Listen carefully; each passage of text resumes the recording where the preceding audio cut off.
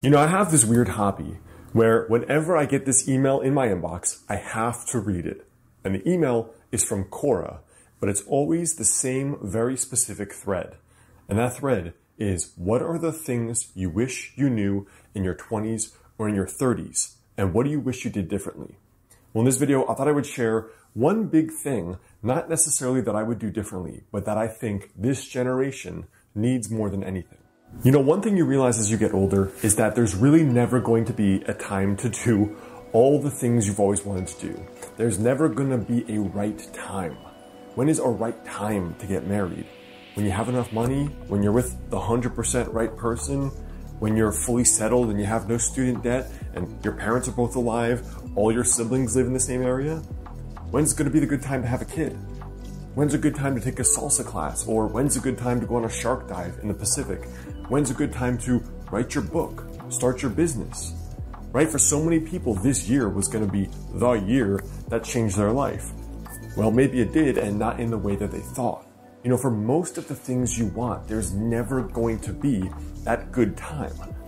There's never going to be that good time because some of these things it doesn't come from divine providence, right? God is not like knocking on your forehead, like, hey, you know, uh, Kelly, this is, you know, this is the month you're supposed to start writing your book, or, uh, yeah, you should just marry that dude because you're 30 and you know you want kids, and yeah, this is the time for sure. There's never going to be a good time. And so, what most of us really need is guts. You know, one thing I always wanted to do because I was afraid was really spend time in the ocean, like a prolonged period of time. So what did I do to get over this fear? I booked an internship when I was in college to go do marine biology research in Fiji. Now, Fiji's in the South Pacific. They have big man-eating sharks. They have crazy, huge creatures in the ocean there. All right.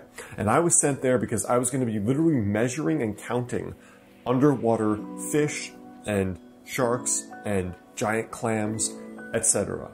So you imagine me little Alex, scared of the ocean, and I go on this mission to basically get over my fear of the ocean, right? And I'm doing this job where I'm literally in the water eight hours per day in the open water alone. And I'm seeing sharks all the time, hammerheads, reef sharks, every now and then tiger and bull sharks.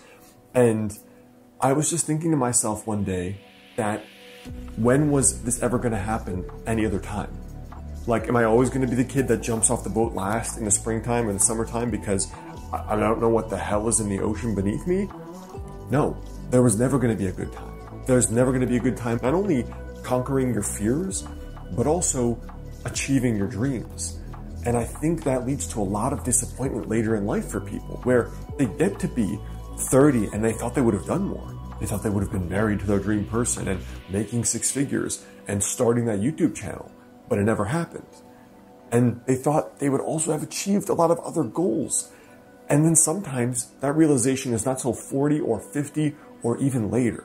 And I think this is the true cause of the cultural phenomenon, a midlife crisis. Now, the second thing is that people need to stop waiting for permission.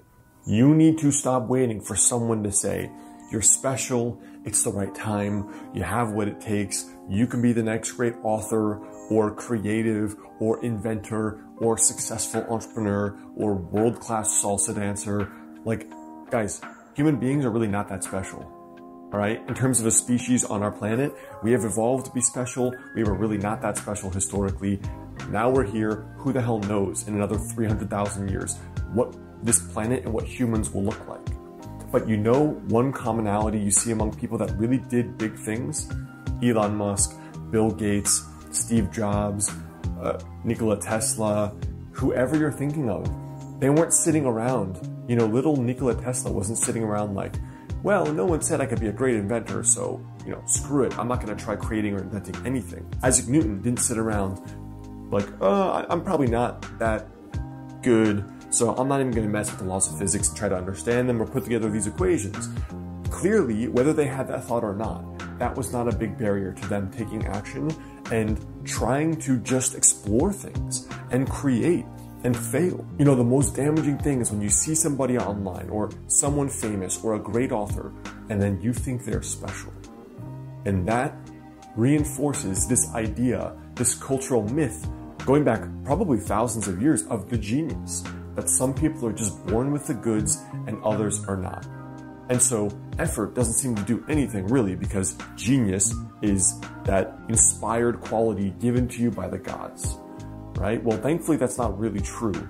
So like Nikola Tesla, like Steve Jobs, like Elon Musk, they decided they were going to do something personally meaningful, powerful, that would change the course of civilization. And that decision was more important than their fear of not being good enough or not being chosen as the one. The last thing I think this generation needs is more leaders. And the way I think of a leader is that a leader is someone who takes risks on missions to go explore some new thing, right? Sometimes the pioneers are the ones with their arrows in their back, right? This old saying, sometimes the pioneer explores the new land and is killed by the natives, right?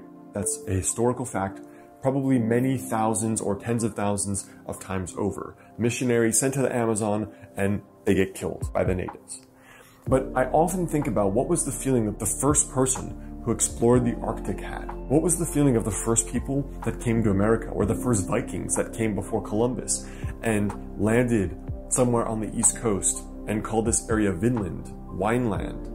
I wonder what that feeling was for them exploring this new land. Or the Polynesians, the sailors sailing on these small rafts all around the South Pacific using incredibly advanced cultural knowledge of the stars to navigate and the weather patterns and which way the currents were going.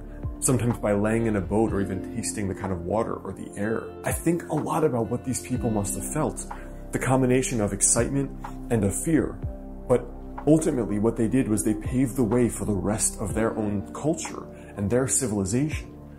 And I see so many people today in this generation who are too busy following other people and consuming other people's thoughts and content and ideas and not spending enough time creating and taking risks themselves. You know, ultimately, the spoils go to the people every day who are creating, who are shipping, and who are trying out things, not the people who are consuming. The riches and the spoils go to the creators, not to the consumers. And yet, in our culture at this time, it is easier than ever just to be someone who consumes mindlessly for hours a day. So this is a little bit of my fiery rant for the day. What I think this generation really needs the most, three kind of inner traits or qualities. But I'm curious what you guys think. What would you add to this list? Tell me right down there below. And I think most of all, remember that no one chooses you and tells you that you're special. You have to realize that you have special gifts and special qualities that other people don't have. And when you realize that, and when you realize that the greats you admire are probably not that special in many ways if you knew them, then you realize that you can be the next icon in our civilization or in our culture. The only question is, are you going to actually take a step and do something about it?